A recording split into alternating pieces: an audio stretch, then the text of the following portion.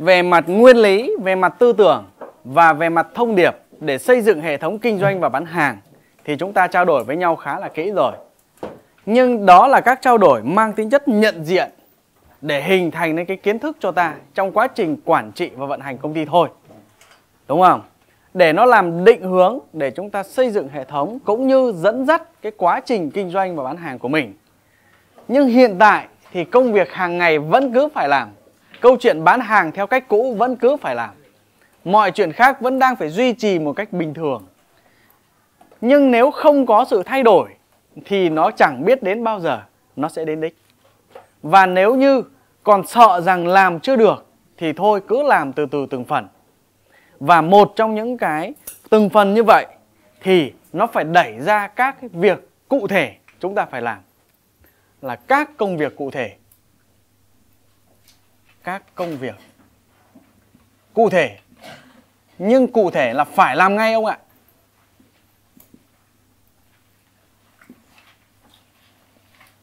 Cái này là ngay và luôn. Triết lý các thứ rồi chính sách thì soạn từ từ. Nhưng đây là những công việc mà sẽ phải làm liền.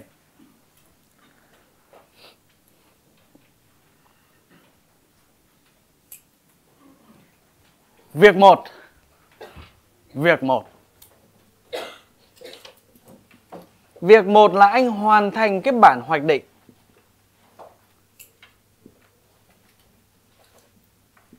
cái bảng hoạch định cho câu chuyện kinh doanh và bán hàng. Đó chính là bản nào đấy anh chị? À, đó chính là cái bản gồm có 4 thẻ chính và 4 thẻ phụ.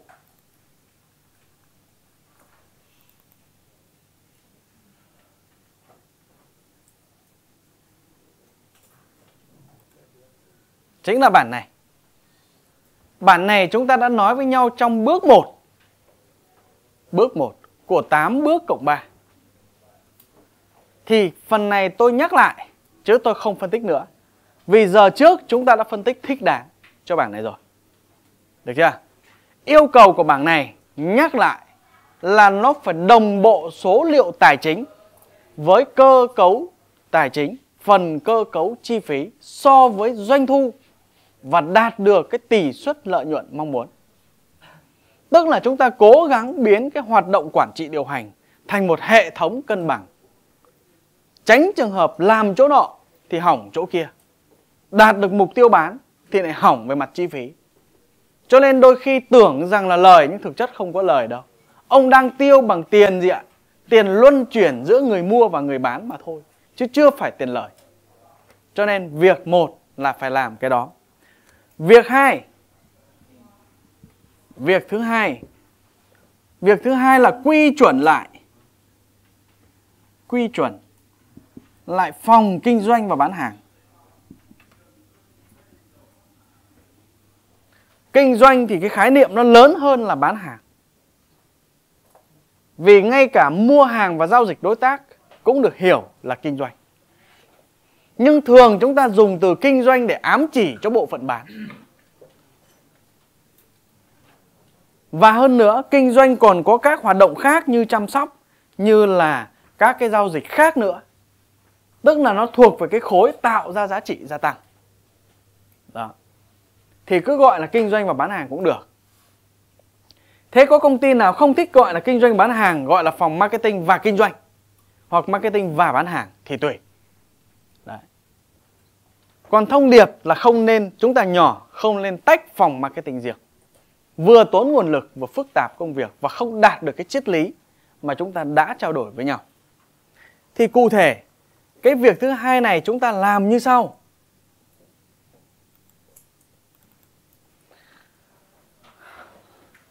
Cái checklist thứ một trong việc thứ hai 2.1 là là anh phải dựng lại dựng lại. Cái lưu đồ, tổ chức phòng. Cái lưu đồ tổ chức phòng thì tôi khuyến nghị là chúng ta tiếp tục ứng dụng cái quan điểm thiết kế như thế này. Phần bên trái bên này, dọc xuống phía dưới là bố trí các nhóm và các công việc, trực tiếp thực hiện công việc của bộ phận kinh doanh và bán hàng. Còn mé bên này chúng ta ghi các tiêu chuẩn quản lý, các yêu cầu quản lý của phòng. Ví dụ, ví dụ ở đây tôi có một cái lưu đồ là tích hợp cả ba cái chức năng. Một là bán hàng, hai là marketing, thứ ba là chăm sóc khách hàng và trong cùng một phòng. Nếu lớn hơn lên nữa, thằng đứng đầu phòng này gọi là giám đốc kinh doanh. Thì tôi khuyến nghị cái đó. Thí dụ bán hàng, có trưởng nhóm bán hàng, có vị trí sale, tức là vị trí bán hàng, có quản lý bán hàng, các công ty thường dùng gọi là sale admin. Bộ phận marketing nếu có thì có anh truyền thông quảng cáo, có anh nghiên cứu khách hàng, có anh làm thiết kế sáng tạo, vân vân. Đấy là lớn, thế còn nếu không thì một đứa phụ trách toàn bộ. Thực hiện cái việc truyền thông online thôi chẳng hạn và thu thập ý kiến khách hàng để nghiên cứu làm ra đưa ra các cái khuyến nghị đối với công ty để cải thiện quy trình cũng như là cải thiện sản phẩm. Phần thứ ba là yêu cầu về chăm sóc khách hàng. Nhưng nếu công ty nhỏ hơn, nếu công ty nhỏ hơn thì cái chỗ này, toàn bộ ba cái ô màu xanh này nó sẽ không còn nữa, mà nó chỉ còn các cái vị trí công việc ở đây thôi. Tức là người phụ trách bán hàng, người phụ trách truyền thông, người phụ trách về chăm sóc khách hàng thôi, trong cùng một phòng. Thì tùy vào quy mô, quan điểm quản trị mà các anh sẽ gì? Sửa lại cái lưu đồ này cho nó phù hợp. Mé bên này chúng ta ghi các yêu cầu quản lý hoặc các quy tắc cần phải được tuân thủ. Nhưng muốn tuân thủ gì thì tuân thủ. Toàn bộ cái cái tổ chức này anh phải ra cụ thể được cái chức năng nhiệm vụ phòng. Vẽ lưu đồ xong, thì anh đến cái checklist thứ hai. Checklist thứ hai. Cái checklist thứ hai là anh soạn thảo chức năng nhiệm vụ phòng.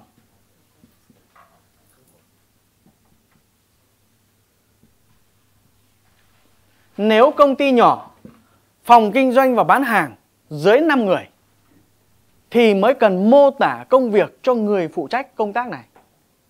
Còn nếu bộ phận này lớn hơn 5 người, tức là gần như giao trọng trách cái việc kinh doanh và phát triển thị trường cho anh, thì lúc đấy chúng ta không nên mô tả công việc cho người đứng đầu nữa.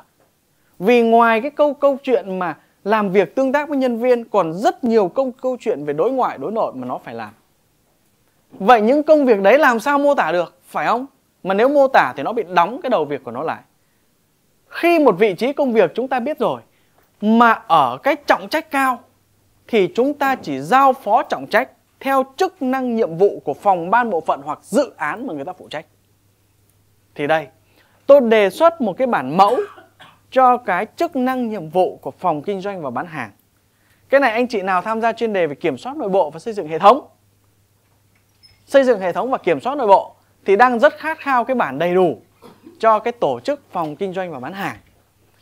Đấy. Vì bữa trước chúng ta đã soạn thử một số chức năng nhiệm vụ của một số phòng như là tài chính kế toán, như là mua hàng, như là bán hàng, kiểm soát nội bộ. Thì ở cái đoạn đó chúng ta soạn nhưng nó chưa đầy đủ. Thì bữa nay tôi gợi ý và đề xuất một bản đầy đủ hơn. Thứ nhất nhìn về mặt tổng quan, chức năng nhiệm vụ phòng bao gồm này Chức năng thứ nhất là truyền thông, giáo huấn. Chức năng thứ nhì là phát triển thị trường, xây dựng và quản trị dữ liệu bán hàng. Chức năng thứ ba trực tiếp thực hiện câu chuyện bán hàng. Chức năng thứ tư Chức năng thứ tư là chăm sóc và quản trị quan hệ khách hàng. Chăm sóc khách hàng là khác, là một việc nhỏ. Trong cái việc mà gì ạ? Quản trị tổng thể cái quan hệ với khách hàng. Thứ năm là nghiên cứu phát triển. Thì đó là gợi ý của năm chức năng. Nhưng để hoàn thành năm chức năng này thì anh phải làm các công việc cụ thể hơn gọi là các nhiệm vụ cụ thể của phòng. Nói cách khác, các nhiệm vụ cụ thể chẳng qua là phân rã ra số nhiều của chức năng. Thế còn ở bên này nó có cái cột nữa gọi là cột vai trò. Thế thì bây giờ chúng ta lại trở lại cái câu chuyện tranh cãi bấy lâu là rất khó có thể phân biệt được cái nào thì gọi là chức năng, cái nào thì gọi là nhiệm vụ, cái nào thì gọi là vai trò. Thì thêm một lần nữa tôi phân biệt với các anh chị để chúng ta có cùng góc nhìn. Tôi tạm thời gác qua cái yếu tố rằng ngoài kia hoặc về mặt từ điển định nghĩa từng từ đó là thế nào. Nhưng ứng với trong câu chuyện về quản trị doanh nghiệp của chúng ta trong công việc cụ thể là thiết kế cơ cấu tổ chức của phòng ban bộ phận thì chúng ta thống nhất và nên hiểu một góc nhìn như sau. Chức năng là phận sự và các công việc mà bộ bận phận đó phải làm trong cấu trúc tổ chức và có thể làm được thì gọi là chức năng. Nhưng như vậy lớn quá. Để hoàn thành chức năng đó, anh phải làm các công việc cụ thể nào đó. Tức là phân rã ra số nhiều của chức năng thì gọi là nhiệm vụ. Tiếp tục. Anh thực hiện chức năng đó với các nhiệm vụ này để đạt được mục tiêu gì cho công ty? Để đạt được mục đích gì cho công ty thì đúng hơn. Thì cái đấy gọi là vai trò. Anh làm việc đó để làm cái gì cho công ty? Để làm mục đích gì cho công ty? Đến đây lại phức tạp rồi nha. Vì lúc trước tôi nói mục tiêu, xong bây giờ lại có mục đích. Ví dụ này, mục tiêu của công chẳng hạn, là sang năm nó lấy vợ. Công đâu giơ tay cả. Ví dụ mục tiêu là lấy vợ và ổn định gia đình. Và giả sử anh ta đặt mục tiêu ra đế, ra ra đến thế, một năm sau chúng ta gặp lại, công báo là công đã có vợ. đã có vợ và đã gì? Đã sinh con hẳn hoi. Như vậy mục tiêu anh ta hoàn thành. Nhưng tiếc thay, mẹ, lấy phải con vợ nó hơi láo. Đúng chưa? Từ ngày lấy vợ vất vả hay thêm cho nên là ông hay đi nhậu. Vợ thì láo mà chồng thì nhậu. Thế là gì? Mục đích của lấy vợ, của việc đạt mục tiêu này là có được một cuộc sống ổn định, an vui, hạnh phúc vậy vợ thì có con thì có nhưng hạnh phúc không có. Vậy mục đích của hôn nhân nó không hoàn thành. Anh ạ. Thì đấy. Thì thì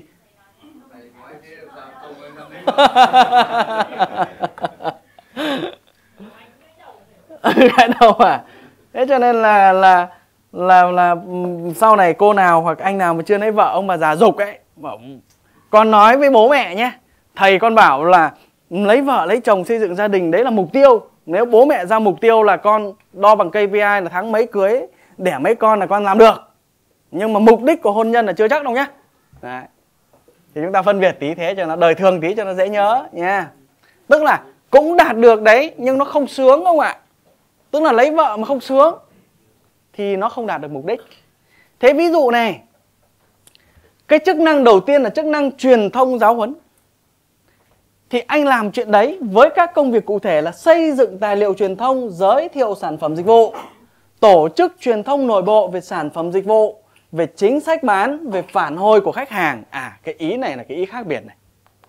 Thông thường thì, thông thường thì, cái thằng nào chăm sóc khách hàng hoặc hoặc nhân sự bán, tiếp nhận được cái thông tin phản hồi của khách thì thông thường là ít được phân phối lại cho các bộ phận khác. Thì các công ty nên nên nên tổ chức dựng ra cái diễn đàn hẳn hoi hoặc các cuộc họp để nói về chuyện này từng tháng và từng quý. Nào, tháng vừa qua anh em bán hàng có những phản hồi nào tốt, có những cái nào không tốt? Nếu là không tốt, nói về mặt sản phẩm, về mặt chất liệu, gọi bộ phận sản xuất lên trao đổi. Này, cái này không phải tôi yêu cầu, mà vấn đề khách, họ phản hồi và chính sách sản phẩm của chúng ta thì thế này. Thì bây giờ có thông tin như thế này, anh em mình bàn giải pháp. Nhưng thông thường ở các doanh nghiệp trong cái việc tổ chức cuộc họp đấy nó tệ lắm là khi mà có cái chuyện phản hồi như thế là gọi lên mẹ mày tao đã bảo đấy nhá. Cái đây là tại mày. Cứ tại tại thì không bao giờ giải quyết được vấn đề. Đúng không? Ở nhà cãi nhau cũng thế. Cứ tại anh tại tôi là thế nào cũng to chuyện. Thì đây này việc thứ hai này, tổ chức truyền thông thì trong đó nó có cái cây khác biệt ở đây là phân phối cái thông tin từ phản hồi của khách hàng rộng rãi ra công ty. Thứ ba xây dựng kế hoạch kịch bản về truyền thông quảng cáo ra bên ngoài để thúc đẩy truyền thông nhận diện về sản phẩm dịch vụ để hỗ trợ cho việc bán nhiệm vụ thứ tư là thực hiện hoặc phụ trách làm việc với các đơn vị quảng cáo truyền thông bên ngoài để thực hiện các chiến dịch và kế hoạch. Thứ năm, anh phải am hiểu về sản phẩm dịch vụ để tư vấn mua hàng cho khách. Thứ sáu, anh phải am hiểu về kiến thức ngành đến mức nào để tư vấn định hướng mua cho khách. Thì đấy là 6 nhiệm vụ của việc truyền thông giáo huấn. Làm những việc đó để làm gì? À, để gia tăng nhận thức của khách hàng tiềm năng với công ty về sản phẩm dịch vụ, đồng thời hỗ trợ việc tư vấn, cung cấp thông tin đúng và đầy đủ về sản phẩm dịch vụ cho khách hàng. Tức là mọi câu chuyện này làm là làm có mục đích thì mục đích đấy là vai trò. Nhưng bây giờ giao việc cho ông làm thì phải cho ông ấy cái quyền. Ca cho tôi đã cho ông cái quyền thì ông phải trả về kết quả, đó là trách nhiệm. Được chưa? Nói cách khác là ông thầy tôi dạy là trách nhiệm thì nó tương đồng với quyền hạn cộng với gì ạ? Phương tiện được cung cấp.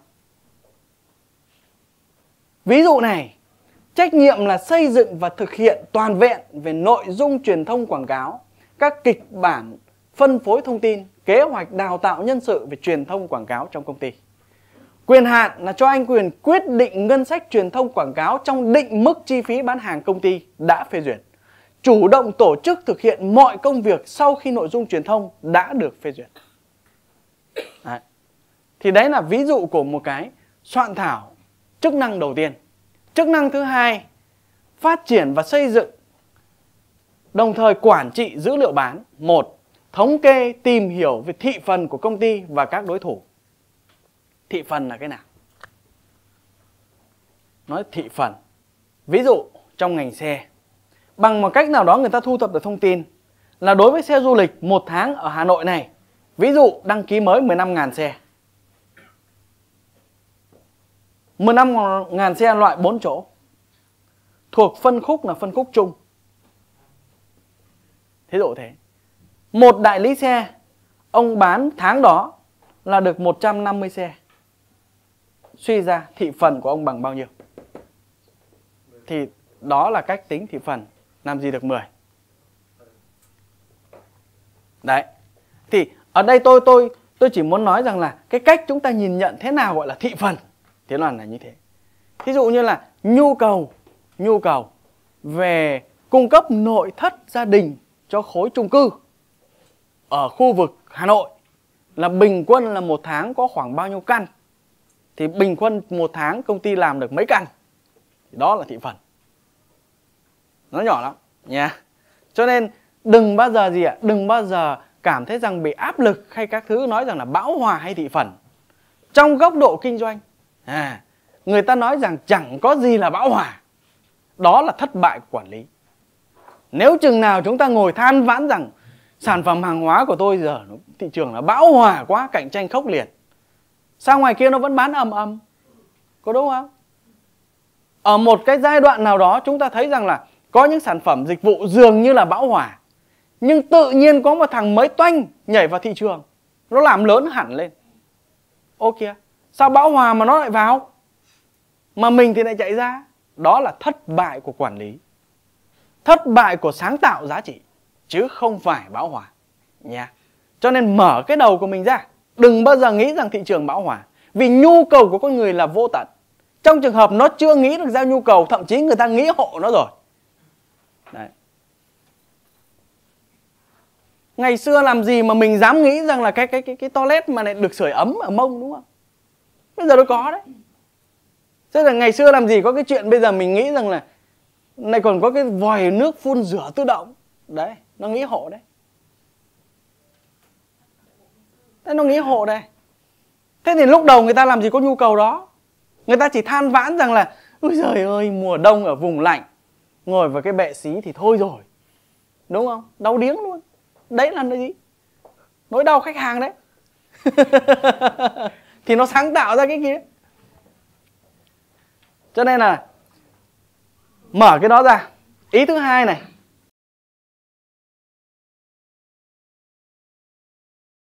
Nhưng có những thứ thuộc về nguyên tắc thì phải làm, chứ không có chuyện thiên biến vạn hóa. Nhớ đấy. Thì đó là các cái mẫu.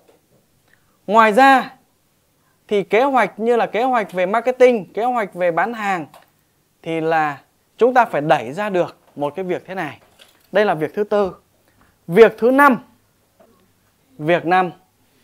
Việc năm là tổ chức tổ chức họp và truyền thông truyền thông cho đội bán hàng kết luận hoặc biên bản của cuộc họp phải đi đến được các kết luận sau đây họp không phải là để nói cho nó vui xong đi nhậu, anh ạ, nhé. Họp là cũng phải ghi thành biên bản xong giấy trắng mực đen ghi ra các điều kết luận và tới đây phải ra chương trình hành động. Thì chương trình hành động một này là anh công bố lại cái triết lý. Xoay chuyển từ cái việc là gì? À lấy sản phẩm làm trọng tâm thì bây giờ lấy khách hàng làm trọng tâm và tuyên bố cái triết lý kinh doanh. Cái cái nội dung thứ hai đó là gì ạ? Giải thích cho người ta hiểu là xóa cái ranh giới của marketing và bán hàng. Cái thứ ba là yêu cầu yêu cầu thực hiện, yêu cầu thực hiện cái chương trình làm việc. Chương trình làm việc gồm gồm có các nội dung sau đây. Nội dung 1 là hàng năm phải lập kế hoạch bán hàng chi tiết. Thứ hai là từng tháng một thì phải có kế hoạch bán và chương trình bán của tháng đó. Cái thứ ba, nhân viên thì phải báo cáo kết quả bán theo tuần hoặc theo ngày cho trưởng phòng. Còn trưởng phòng phải báo cáo kết quả tháng cho công ty. Và ý cuối cùng, giao phó trách nhiệm thực thi và quản lý chi phí bán cho người phụ trách bán. Nhắc lại, ý cuối cùng là giao phó trách nhiệm thực thi và quản lý chi phí bán cho người phụ trách bán. Vậy nếu ở công ty của anh chị mà giám đốc đang trực tiếp bán, thì giám đốc bảo kế toán theo dõi cho anh. Nhưng giám đốc bảo kế toán theo dõi cho anh thì cũng là bằng thừa. Vì anh đi, anh quyết định xong rồi còn đâu. Đúng không? Vậy để đáp ứng được các phần công việc này, thì xin thưa là tôi cũng cung cấp cho các anh chị các cái mẫu, một là cái, có một cái file là kế hoạch bán hàng một năm và kế hoạch cộng với báo cáo bán hàng từng tháng. Nhưng trong phần công việc này, nó có một cái ý người ta gọi là chương trình bán hàng. Đó là gì? Đó là các ứng dụng kèm theo năm đầu việc cụ thể mà các công ty về phải làm ngay. Việc này phải làm tức thì. Rõ chưa? Nhưng đừng âm thầm, tối bắt đầu là lừa vợ con ngủ, xong bắt đầu là dậy, ngồi riêng ra làm nhé tổ chức họp anh em vào mà làm.